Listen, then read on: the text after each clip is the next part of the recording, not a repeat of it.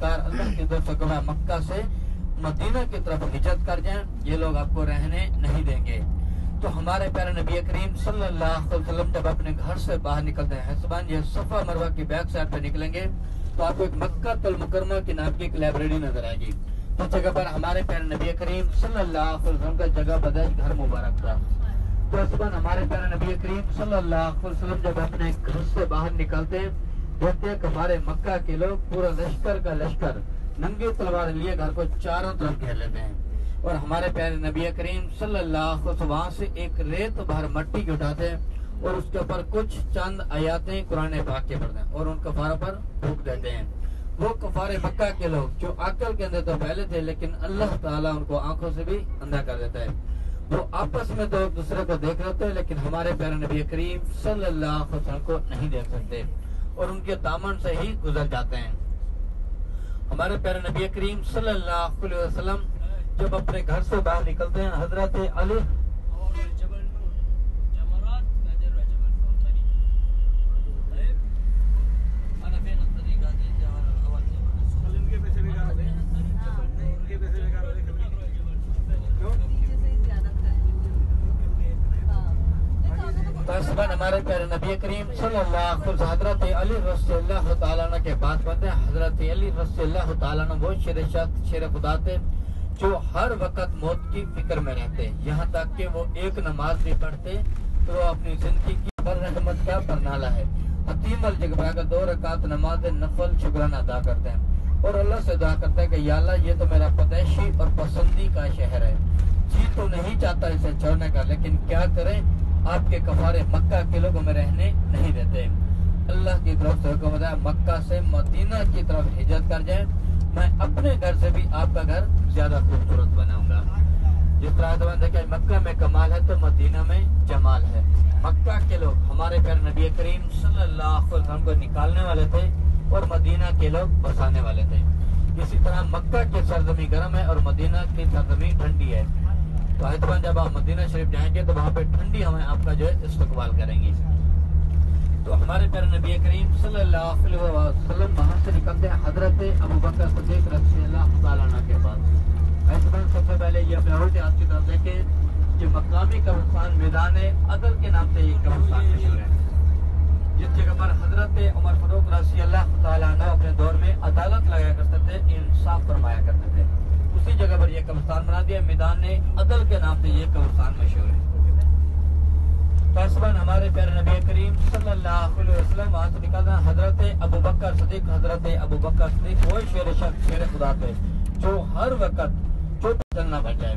جب ہمارے پیارے نبی کریم صلی اللہ علیہ وسلم حضرت ابو بکر صدیق رضی اللہ تعالیٰ عنہ کے گھر پر دستک دیتے ہیں، تو اندر سے آواز آتی ہے، لبیک یا رسول اللہ، لبیک۔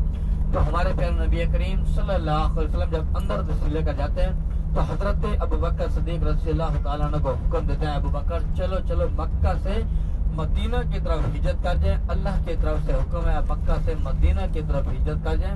یہ لوگ آپ کو رہنے نہیں دیں گے۔ تو ہمارے پیارے نبی کریم صلی اللہ علیہ وسلم اور حضرت ابو بکر صدیق رضی اللہ تعالیٰ عنہ جب وہ حرم شریف سے نکلتے ہیں، چلتے چلتے اسی جبل سور، غار سور کے قریب پہنچتے ہیں۔ جب اوپر کا سفر طے کرتے ہیں تو ہمارے پیارے نبی کریم صلی اللہ علیہ وسلم کے قدموں پر چھلے پڑ جاتے ہیں۔ اور حضرت ابو بکر صدیق کو حکم دیتے ہیں، ابو بکر کیوں نہ کسی سواری کا انتظام کیا جائے؟ حضرت ابو بکر صدیق وہ شیر شیر خدا تھے جو فوراً ہی اپنے پیروں کے بل بیٹھ کے اور ہمارے پیارے نبی کریم صلی اللہ علیہ وسلم کر کے، یا رسول اللہ، آپ میرے کاندھوں پر سوار ہو جائیں، آپ کی سواری جو ہے تیار ہے۔ میں آپ کو اس گھر تک لے کے جاؤں گا۔ تو حسبان یہاں سے اپنے سیدھے الٹے ہاتھ کی طرف دیکھیں، سب پہاڑوں سے مختلف پہاڑ، اونٹ کی شکل میں جبل نور، غار ہیرا۔ حسبان اس پہاڑ کو تین نام بولے جاتے ہیں، جبل نور، غار ہیرا اور جبل اسلام۔ جبل نور، کیونکہ عربی زبان میں پہاڑ کو جبل بولتے ہیں۔ غار ہیرا جو اس کے اوپر غار ہے، بالکل ٹاپ پر۔ کریں۔ یہ دیکھیں، بالکل ٹاپ پر چھوٹی پر جانا پڑتا ہے، اس کے اوپر جایا کرتی تھی۔ جس کی کل لمبائی ستائیس سے اٹھائیس فٹ کے دوران بتائی جاتی ہے۔ جس کے بعد آنے جانے کے لیے دو سے تین گھنٹے آنے جانے کے لیے چاہیے۔ شروع سے لے کر آخر تک اس کی مکمل سٹیپ سیڑھیں وغیرہ بنائی گئی ہیں۔ اس کے بعد حسبان ہمارے پیارے نبی کریم صلی اللہ علیہ وسلم کا- ان کے غاریار حضرت ابو بکر صدیق۔ حضرت ابو بکر صدیق فوراً ہی اپنے پیروں کے بل بیٹھ گئے اور ہمارے پیارے نبی کریم صلی اللہ علیہ وسلم کر کی یا رسول اللہ، آپ میرے کاندھوں پر سوار ہو جائیں، آپ کی سواری تیار ہے؟ میں آپ کو جو اس غار تک لے کے جاؤں گا۔ تو دیکھیں، اس وقت ایک آدمی کا وزن نہیں تھا، ایک انسان کا وزن نہیں تھا۔ ایک پوری کائنات کے برابر ایک نبوت کا وزن تھا، جو حضرت ابو بکر صدیق نے ہمارے پیارے نبی کریم صلی اللہ علیہ وسلم کو اپنے کاندھوں پر بٹھا کر پیروں کے پنجوں کے بل، پیروں کے مکمل نشانات بھی نہیں آنے دیے۔ کہیں ایسا نہ ہو کہ کفار مکہ کے لوگ ہمارے پیروں کی نشاندہی کرتے کرتے اس غار تک نہ پہنچے۔ تو پیروں کے پنجوں کے بل اس غار کا سفر طے کیا، جس کی بلندی پانچ ہزار چار سو تیرہ فٹ بتائی جاتی ہے۔ تقریباً جس کے اوپر آج آنے جانے کے لیے کم پیش آپ کو چار، تین سے چار، ساڑھے چار گھنٹے آنے جانے کے لیے چاہیے۔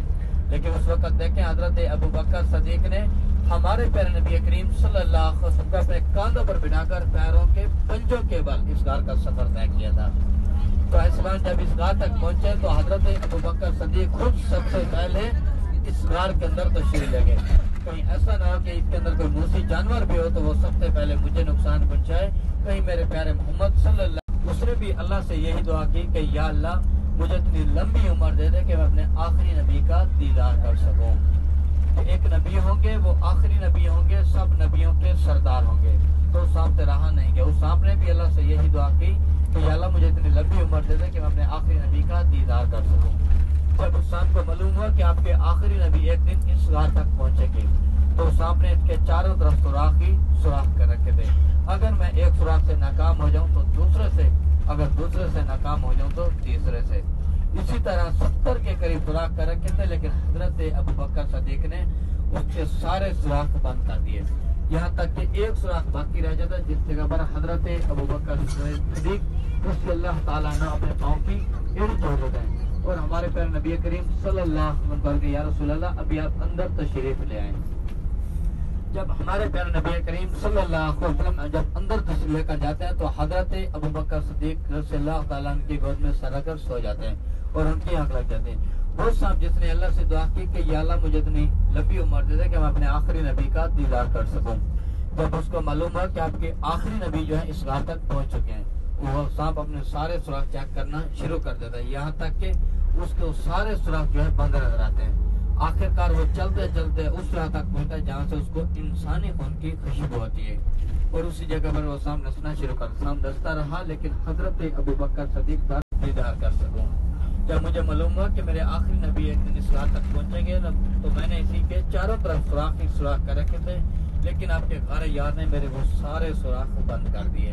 آخر کار چلتے چلتے میں اس رات تک پہنچا جہاں سے مجھے انسانی خون کی خوشبو آئی، اور اسی جگہ پر میں نے کاٹنا شروع کر دیا۔ ایسے صاحب، ہم کلام ہونے کے بعد یہاں سے واپس روانہ ہو جاتے ہیں۔ وہ کفارے مکہ کے لوگ جو ننگی تلوار لیے ہمارے پیارے نبی کریم صلی اللہ علیہ وسلم کے گھر کو چاروں طرف گھیر رکھتے ہیں۔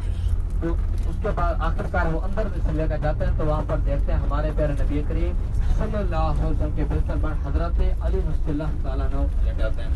اور ان کا منصوبہ وہاں سے بھی ناکام ہو جاتا ہے۔ حضرت علی رضی اللہ تعالیٰ عنہ پھر کہتے ہیں، میں نے زندگی میں کبھی بھی چین کی نہیں۔ چین کی رات نہیں سویا، جو اس رات میں سویا تھا۔ میں سوچا کہ آج زمین، آسمان ایک ہو سکتے ہیں زنگلے آ سکتے ہیں، طوفان آ سکتے ہیں، لیکن مجھے علی کو موت نہیں آ سکتی۔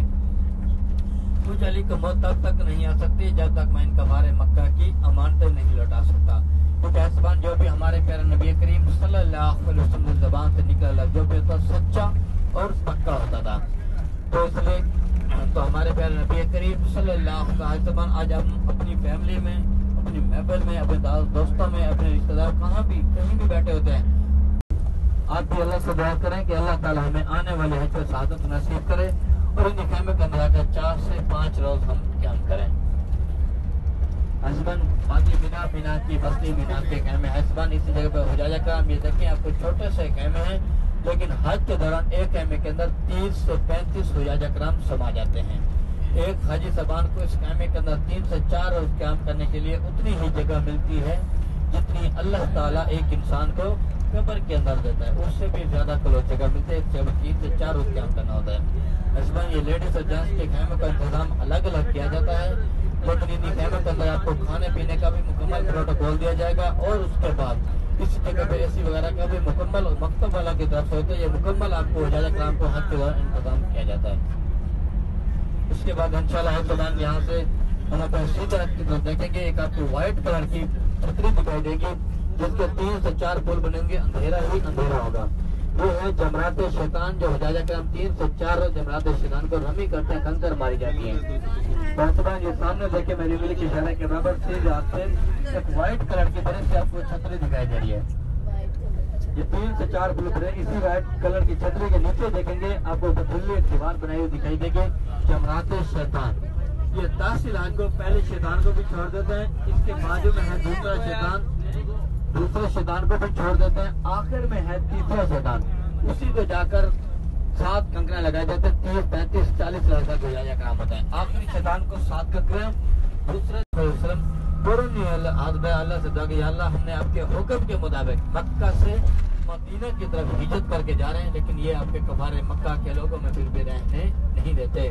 یا اللہ، اس ایک بار ہماری فول طاقت جو ہے ختم ہو چکی ہے۔ اس کے آگے آپ ہماری مدد کرنا خود جانتے ہیں، خود طاقت رکھتا ہے یا اللہ آپ ہماری حفاظت فرما دیجیے تو ایسے بات یہاں سے ابھی یہ ہے عزیزیہ۔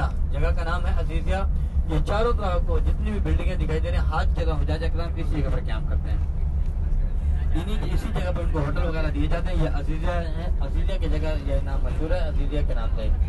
اسی جگہ پر جاجا کرام جو ہے حج کے ٹائم رہتے ہیں۔ انہیں بلڈنگوں میں یا اپنے دائیں بائیں چاروں طرف جتنی بھی آپ کو یہ بلڈنگیں دکھائی دے رہی ہیں اسی جگہ پہنچا جا کرم ہم ہیں، حج کے دوران۔ اور حج کے بعد انشاءاللہ ہر وقفے پہ جس کو مکہ کے شریف، حرم شریف کے ساتھ ساتھ جہاں پہ بلڈنگ ملتی ہے تو اس کے اوپر شفٹ کیا جاتا ہے۔ تو حسبن اللہ تعالیٰ فوراً جی دو سکورٹی گارڈ دو سکورٹی گارڈ کا انتظام کرتا ہے بکری کو حکم دیتا ہے کہ بکری جا تو شوہر کے اوپر جالا بنا دے۔ اور میرے محبوب کی حفاظت فرما۔ اور کبوتری کو حکم دیتا ہے، اے کبوتری جا تو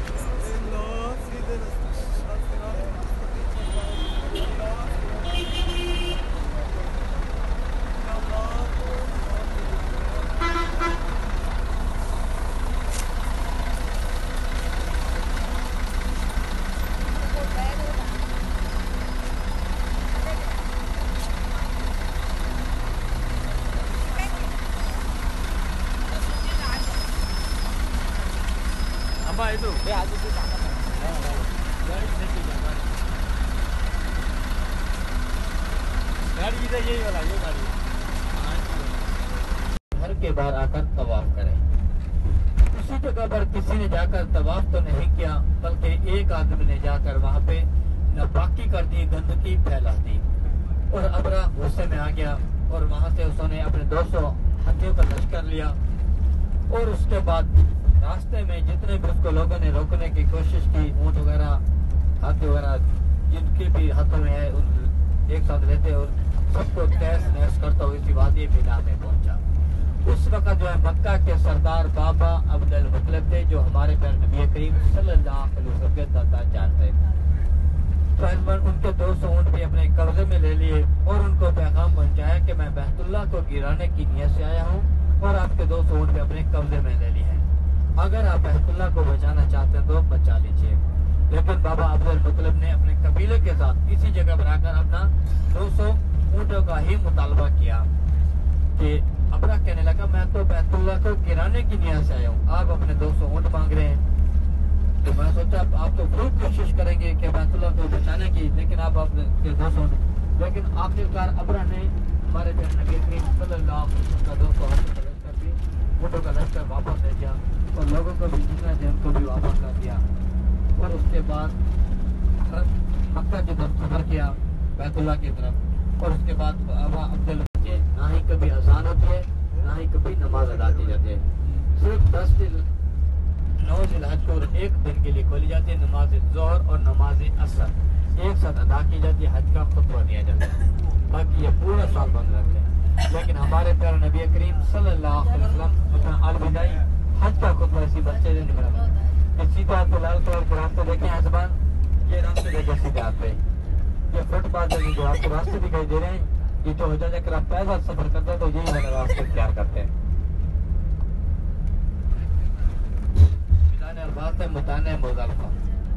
تو اس بار ہمارے پیارے نبی کریم صلی اللہ علیہ وسلم اپنا الوداعی حج کا خطبہ اسی مسجد نمرہ میں دیا۔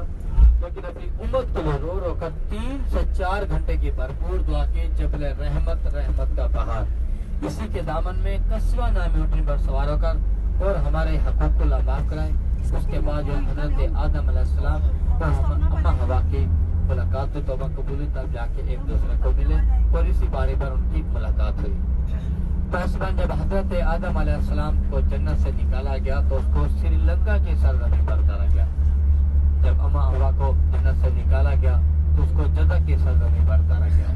تو تیس سے چالیس سال تک ایک دوسرے کو بھٹکتے رہے، ڈھونڈتے رہے۔ ایک دوسرے کی آواز تو سن سکتے تھے، لیکن ایک دوسرے کو دیکھ نہیں سکتے تھے۔ جب ہمارے پیارے نبی کریم صلی اللہ علیہ وسلم اپنا الوداعی حج کا خطبہ اسی مسجد نمرہ میں دیا، لیکن جب اپنی امت کے لیے ضرورت کا تین سے چار گھنٹے کی بھرپور دعا کے جب لڑکے فوج دکھائی دے کہ بدایت عرفات اور نہایت عرفات میں ایسوان یہ باہر کی جانب ہے بدایت عرفات، اگر آپ اسی بورڈ کو اندر کی طرف دیکھیں گے تو آپ کو نہایت عرفات لکھا ہوا نظر آئے گا۔ اس سامنے دیکھیں، میری انگلی کے اشارے کے باہر بدایت عرفات۔ جس طرح میدان عرفات کی حدود کے بورڈ یہ چاروں طرف یہ بورڈ لگائے گئے بدائے عرفات اگر آپ کو اسی کو اندر کی طرف دیکھیں گے تو آپ کو نہایت عرفات لکھا ہوا نظر آئے گا۔ تو حسبند یہ چاروں طرف لگائے گئے دس نو ذی الحج کو کوئی بھولے سے بھی میدان عرفات کے اندر داخل ہو جائے تو اللہ تعالیٰ اس کا بھی حج قبول کر لیتے ہیں۔ تو حسبان اسی جگہ پر ایک دن کا قیام ہوتا ہے۔ نماز ظہر اور نماز اثر ایک ساتھ ادا کی جاتی ہے، ایک اذان آتی ہے۔ دو نمازیں ایک ساتھ ادا کی جاتی ہے حج کا خطبہ دیا جاتا ہے۔ اس کے بعد یا پھر سیدھے حج کی طرف دیکھیں کہ آپ کو یہ بورڈ بھی دکھائی دیں گے۔ اور اس کے بعد میدان عرفات کے حدود کے اندر یا باہر جتنے بھی آپ کو نیم کے درخت نظر آئیں گے، جو ہمارے پاکستان سے جنرل اجیال شہید نے انیس سو پچاسی اور چھیاسی میں یہ دس لاکھ پودا سعودی حکومت کو گرفت میں لیا تھا۔ یہاں تک کہ اس کی مٹی بھی پاکستان سے لائی گئی تھی، اس کو لگانے والے بھی پاکستان سے ہی لگائے تھے۔ قصبہ اس وقت کسی بھی سائے کا انتظام نہیں ہوتا تھا۔ خالی سامنے دھوپ کا سامنا کرنا پڑتا تھا، کسی بھی سائے کا انتظام نہیں ہوتا تھا۔ اس لیے انہوں نے پاکستان سے یہ نیم کے درخت خالی جو ہے نیم کے آپ کو دکھائی دیں گے۔ لیکن ابھی یہ کونا وغیرہ کے گھجوروں کے اور اس کے بعد پیڑ کے بہت سارے ابھی جھاڑ آپ کو دکھائی دیں گے۔ لیکن فی الحال جو پاکستان سے بھیجے تھے، خالی نیم کے جو آپ کو درخت دکھائی دیں گے۔ یہ ہمارے پاکستان سے جرم اور زیادہ چھ انیس سو پچاسی اور چھیاسی